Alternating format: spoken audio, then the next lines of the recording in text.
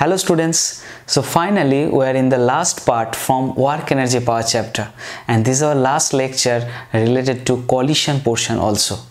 In this lecture we will discuss, we are going to discussing about a topic that is named as perfectly inelastic collision. In first lecture of collision, we completed elastic collision in one dimension. In second lecture, we just completed there is a elastic collision in two dimension and we learn about the coefficient of restitution and its values for different types of collision. Now today we are going to discussing that is the perfectly inelastic collision. So all of you know I think that the meaning of perfectly inelastic collision that I completed in the first lecture in case of inelastic collision, there is a loss of kinetic energy. Kinetic energy is not conserved. This is the basic difference. So, a collision is said to be perfectly inelastic. They follow the following three conditions. Condition number one, you write it. See, first one, after collision, both the bodies stick together and moving with a common velocity. A body moving with a velocity and strike a target. Here there is another body at rest strike a target. And after this collision these two body stick together and moving with a common velocity. First one. Second one you see the momentum remains constant that is we already know that in every types of collision moment remains concept and the final one that is the kinetic energy before collision is more than the kinetic energy after collision. This point is important. In case of elastic collision we learn that the kinetic energy before collision is exactly equal to kinetic energy after collision. But here before collision kinetic energy is more than the kinetic energy after collision so there must be a loss of kinetic energy. So in this lecture we will discuss, we will prove how much kinetic energy loss in case of perfectly inelastic collision and we will prove the second point that is kinetic energy after before collision is more than the kinetic energy after collision. We will prove these two theorem one there is a how much amount of kinetic energy is losses and kinetic energy before collision is more than the kinetic energy after collision.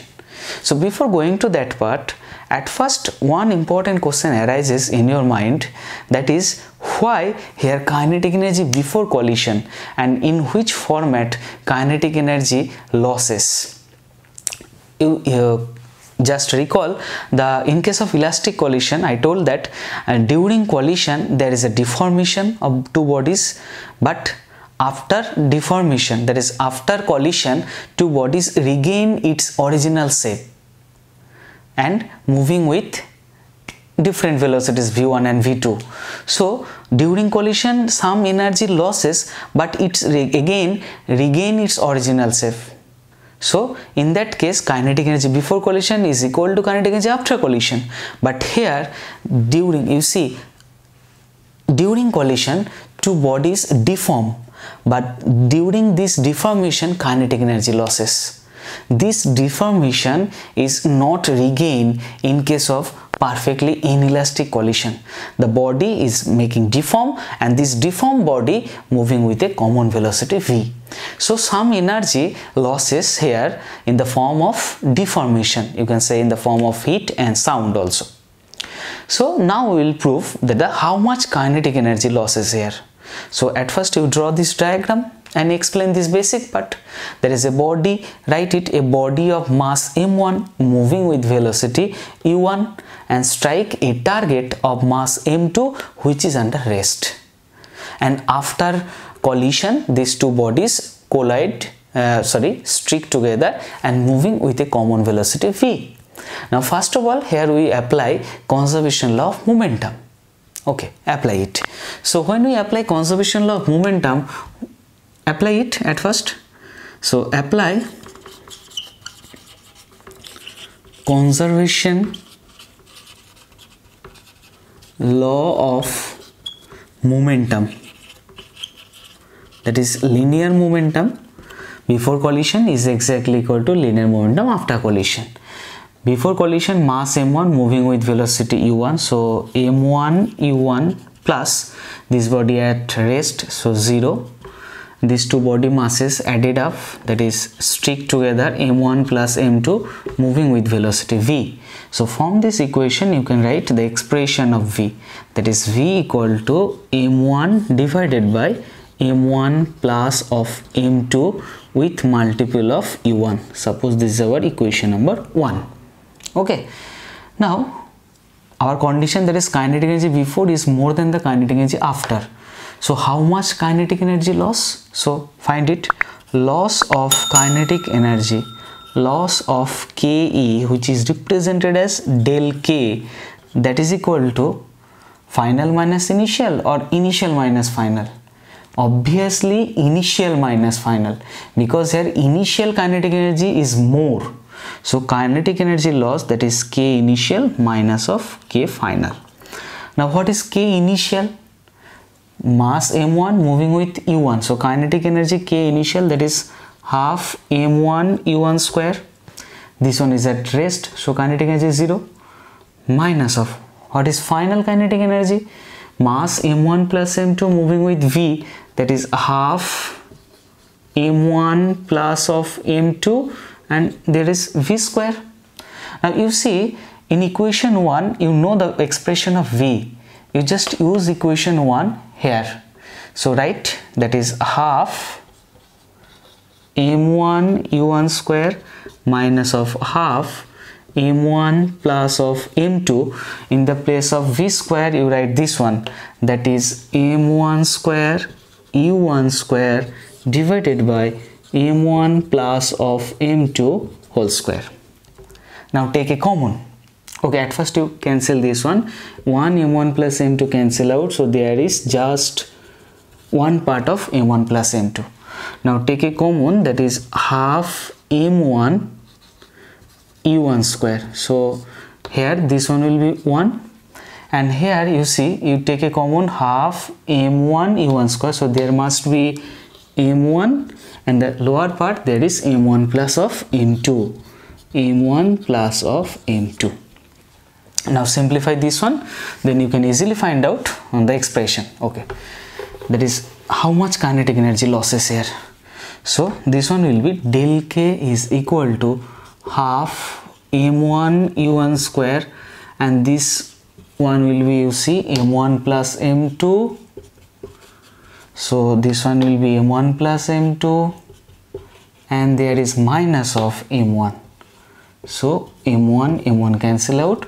The final expression that is half m1 m2 u1 square divided by m1 plus of m2 this is the expression of loss of kinetic energy in case of perfectly inelastic collision.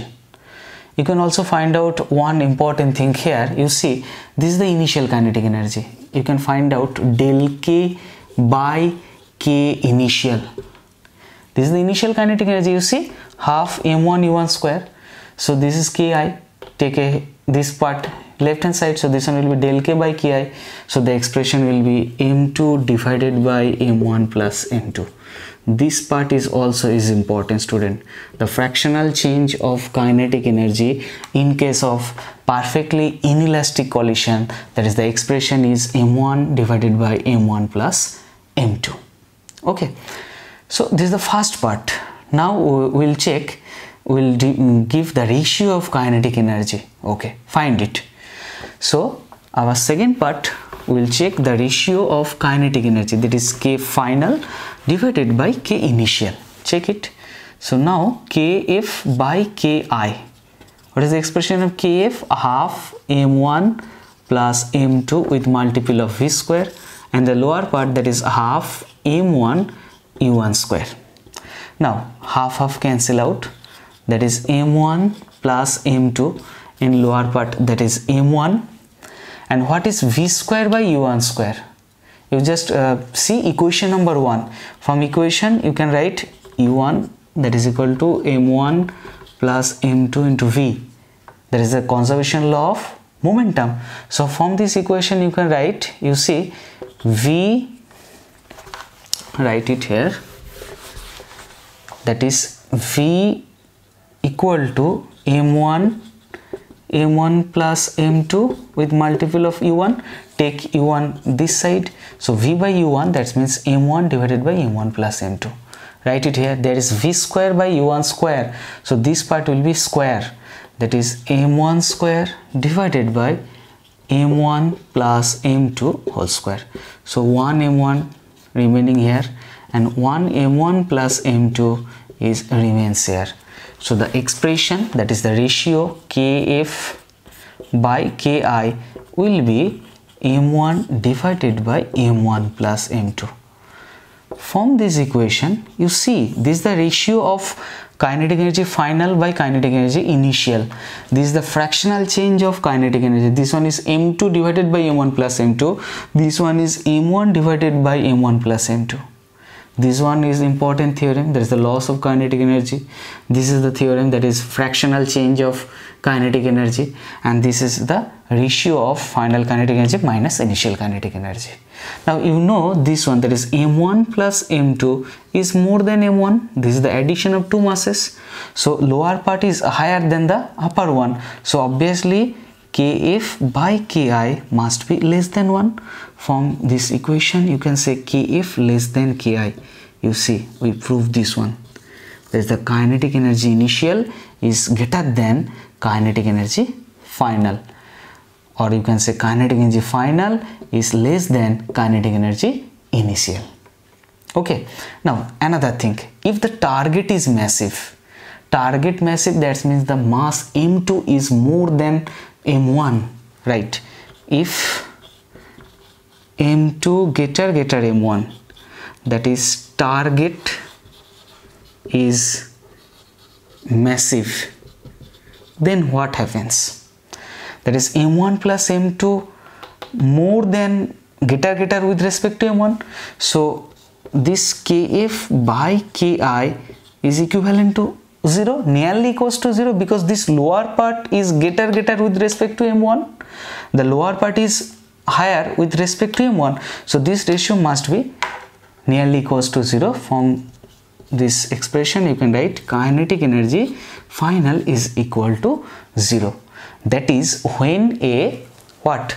When a light body strikes a massive stationary body then after the collision the total kinetic energy is equal to 0 that is the total kinetic energy fully kinetic energy losses. Okay. So this is all about perfectly inelastic collision. And this is the theoretical concept. Now you go back to your exercise book and solve some important numericals related to uh, this one. There is a perfectly inelastic collision. And if there is any problem tell me in the comment section. So today i'm ending here. Meet you soon. Tada